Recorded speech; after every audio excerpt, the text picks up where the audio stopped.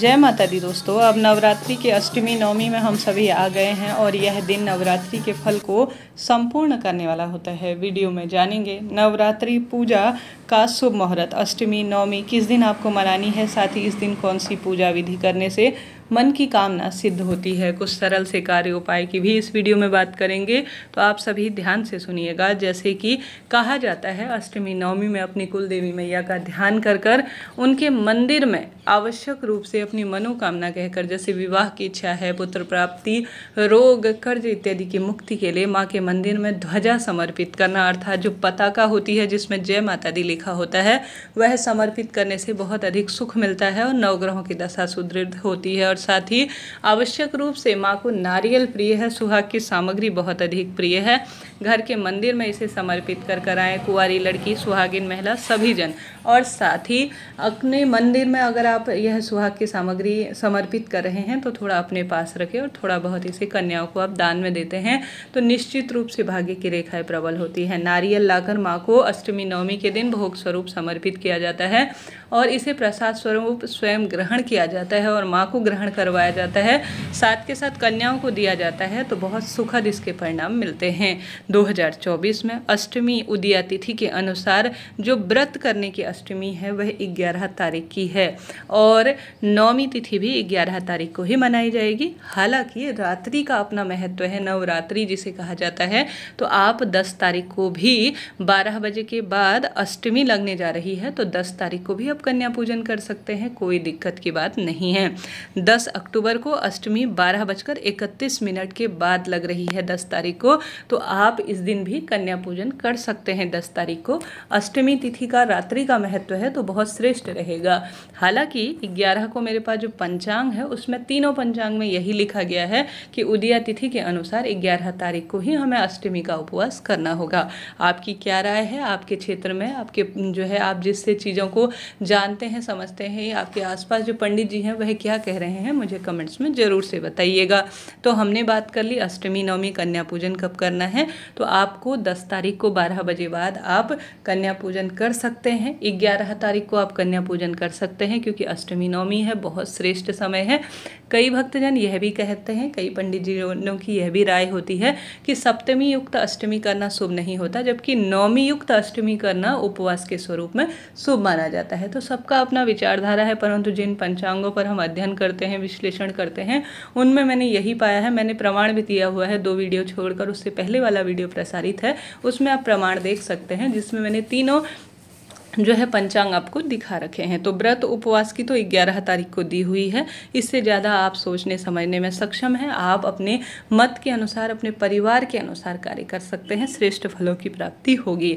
तो हमने बात की 11 तारीख की, जिस दिन अष्टमी और नवमी दोनों दिन है। तो नवमी और अष्टमी का पावन पर्व दोबारा से कह रही हूँ, आपको ग्यारह तारीख को मनाना है। साथ ही दशहरे का जो पावन पर्व होगा, जिस दिन रावण दहन इत्यादि का कार्य होगा, वह विशेष तौर पर बारह तारीख को होना सुनिश्चित हुआ है। पंचांग में भी यही लिखा गया है।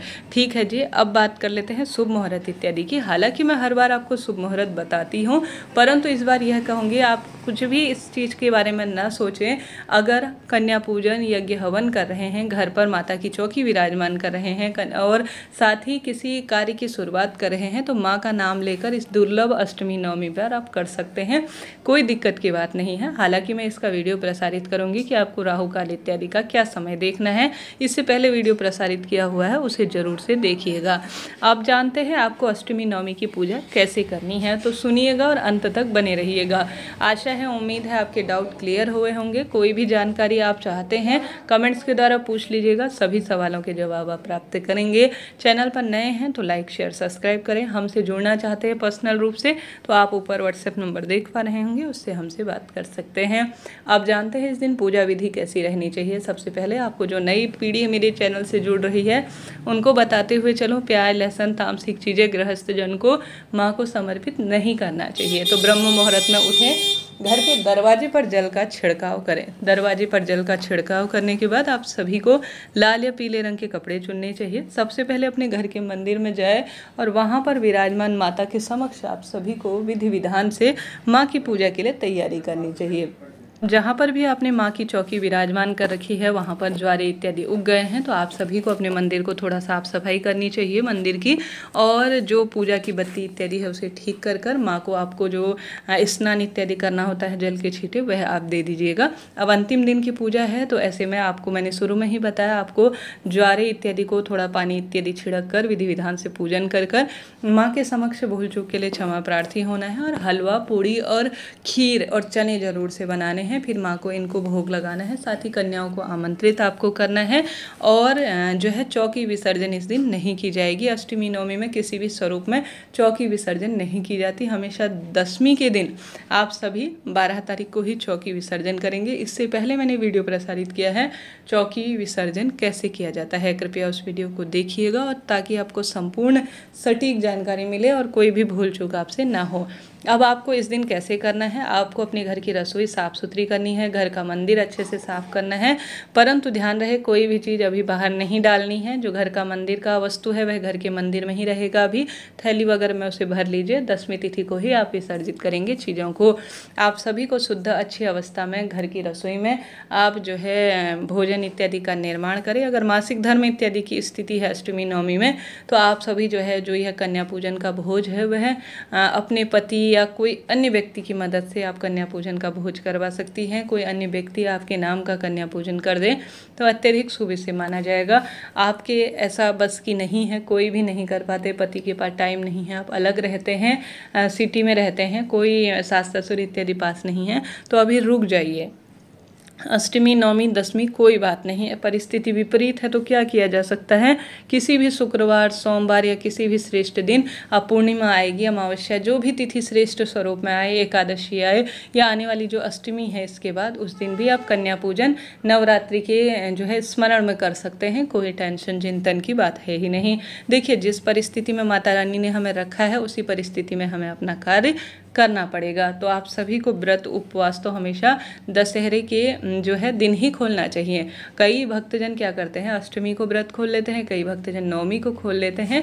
अपने परिवार रीति के अनुसार चीज़ें चलती हैं, अच्छी बात है, कोई दिक्कत नहीं है। परंतु जो शास्त्र विधान कहता है, वह नौ रात्रि, नौ दिन का कहता है तो उस अनुसार आप जो है, करें तो ज़्यादा श्रेष्ठ रहेगा। तो आप सभी दसवीं की सुबह जब सूर्य उदित होने लगे, उसके बाद ही अपने व्रत उपवास को खोलते हैं तो ज़्यादा इसे शुभ माना जाएगा। माता रानी का विधि विधान से पूजन करें, नारियल उन्हें समर्पित करें, सुहाग सामग्री ज़रूर समर्पित करें। इस दिन नई चुन्नी समर्पित करते हैं तो श्रेष्ठ होता है। थोड़ा सा आप जो है अज्ञारी के माध्यम से भोग समर्पित करते हैं छोटा सा हवन करते हैं माँ के नाम का तो यह बहुत शुभ माना जाता है। कुलदेवी मैया के नाम की जो पूजा होती है, वह भी करें। उसके बाद हवन पूजन संपूर्ण कार्य होने के बाद ही हमेशा कन्या पूजन अंत में किया जाता है। तो इन चीज़ों को आप नोट करते हुए चलिएगा। आप अपने लिए जो नियम निर्धारित करते हैं, वह आप अपने परिवार के अनुसार कीजिएगा। परंतु मैं अपना मत कहूँ तो हमेशा दसवीं के दिन, नवरात्रि और नौ दिन उपवास करने और नियम लेने के पश्चात दसवीं के दिन ही हमेशा दशहरे के दिन व्रत उपवास खोलने का विधान है। आशा है, उम्मीद है, वीडियो आपके लिए ज्ञानवर्धक और उपयोगी रहा होगा।